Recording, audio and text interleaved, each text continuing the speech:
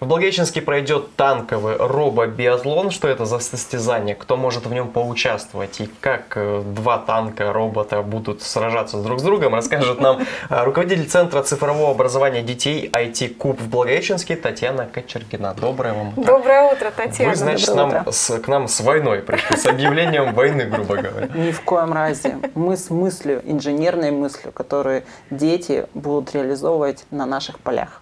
Вообще эта мысль, она нова или же нет? Или уже где-то такое подобное можно посмотреть? Ну, в стране, да, у нас впервые. Угу. Такого не было ни в Благовещенске, ни в Амурской области. Наше соревнование впервые в таком формате проходит у нас. Ну, хорошо, когда есть на кого посмотреть хотя бы, потому что ты уже понимаешь, какие сложности возможны при организации, да, потому что когда ты что-то новое организуешь, безусловно, это не так просто. Ну, во-первых, танки. Где найти полигон для этих танков испытательный? То есть какая площадь вам необходима для того, чтобы провести это мероприятие? Какие у него особенности?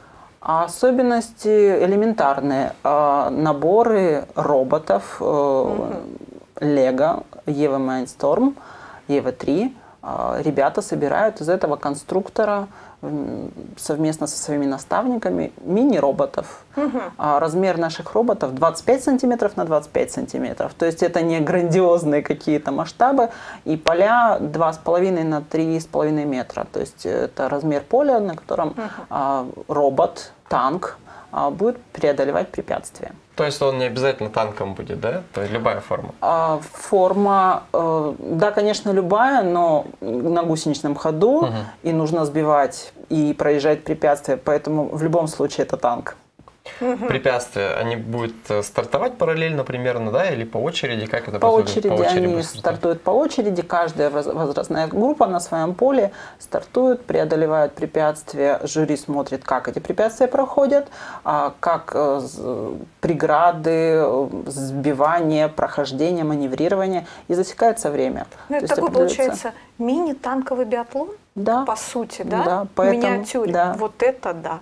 Ребенку нужно будет управлять э, роботом пультом или он прописывает программу, маршрут полностью? Они управляют своими мобильными угу. телефонами, устанавливают программу, и на мобильном телефоне э, там специальные кнопочки, а, и там двигается собирать его будут как-то в режиме реального времени или же это заранее будет Нет, работа? Нет, все команды приезжают со своими танками, Уже со готовыми. своими моделями, да. Команды, да. сколько их?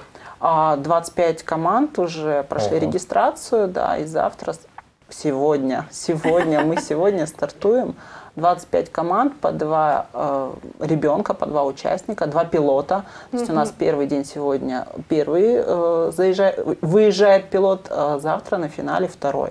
И их баллы и время суммируются и определится победитель. Два участника, один танк.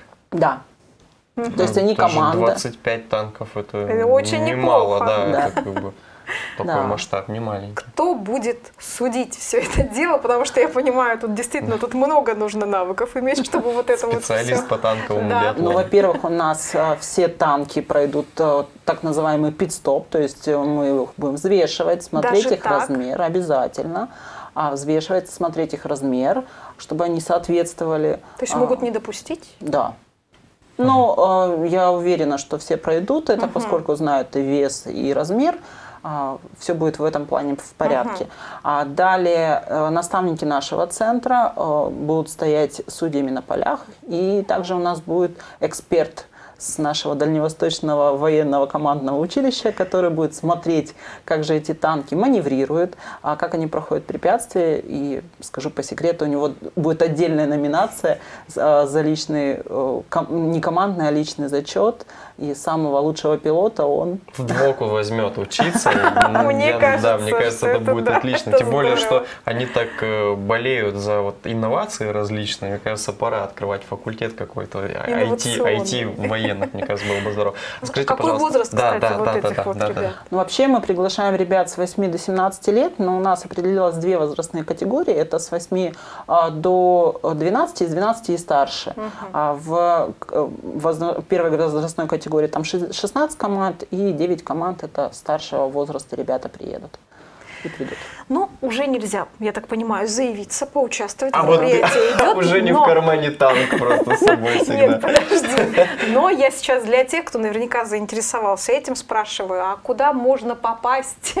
Потому что я понимаю, что этим мероприятием календарь, конечно, не заканчивается. Что еще будет? А, конечно же, не заканчивается. Ну, во-первых, прямые трансляции на наших соцсетях этого мероприятия будут. Можно посмотреть, Можно есть всем. посмотреть Очень всем. хорошо. И э, в Инстаграм, и ВКонтакте. То есть вся эта информация будет открыта, и ребята и девчата смогут посмотреть. И девчонки у нас тоже принимают участие пилотами. Они такие розовые танки. Нет, у нас смешанные команды. А у нас стартуют со 2 июня э, профильные смены нашего центра совместно э, с лагерем «Колосок», с нашим любимым а, лагерем. Э, Две профильные смены со 2 по 10 июня и с 13 по 21 июня. А, Приглашаем ребят с 12 лет до 17. А, Там они смогут на смене научиться чему-то новому или свои компетенции в IT-сфере, наоборот, развить. Э, Что там будет за эти 9 дней, правильно? Да, за 9 дней у нас, э, ну, мы планируем собрать 10 команд, мини-команд, человек по 12-15, а, чтобы они научились а, 3D-моделированию, а, SMM, а, проектированию э, игр и их продвижение. То есть там очень много сфер, в которых ребята смогут себя немножечко попробовать. Это педагоги IT-клуба? Э, Куба. Будут про- Ой, да. IT-клуба будет Да. проводить? Да, но педагоги нашего центра. Дети с нуля могут быть? Или Да, да. обязательно Мы готовим какие-то? программы для разноуровневых, подго- разного уровня подготовки ребят, а, поэтому для каждого, думаю, найдется интересное. А если он чего-то много-много знает, он сможет научить таких же а, ребятишек, как и он. Поэтому мы, мы приглашаем деток чуть постарше, поскольку ну, IT-сфера, а, она интересна для всех, но а, малыш, который в 8 лет подойдет к компьютеру, он знает 5 кнопок. Это стрелки и пробел, потому что он чаще всего играет, да. А ребенок в 12 лет, он уже более осознанно подходит к машине и начинает и программировать, и конструировать. И интерес у таких ребят у нас ну, больше и качественнее. Ну, есть, вы ну, очень вкусно рассказываете об IT, на самом деле, и интерес Это у детей правда. возникает. Тем более, когда Мгм. такие мероприятия проводят, мне кажется, Да. что глаза вот тут-то и загораются в этот момент. А да? мы для этого и работаем, чтобы у деток глаза загорались, и они а, опять возвращаемся к страхам родителей. А, Все боятся, что дети сидят в телефонах, в гаджетах, в компьютерах, что его не оторвать. А, но ведь это не страшно, если его немножечко направить, если бы, э, чтобы он развивался в этой сфере, чтобы он искал интересное. Да, в интернете, да, при помощи соцсетей, но когда ребенок уже знает, что он хочет, он на плохое не будет смотреть. Это точно. Он будет смотреть то, что ему интересно. Татьяна. Мгм. удачи вам в Да. этом танковом красивом мероприятии.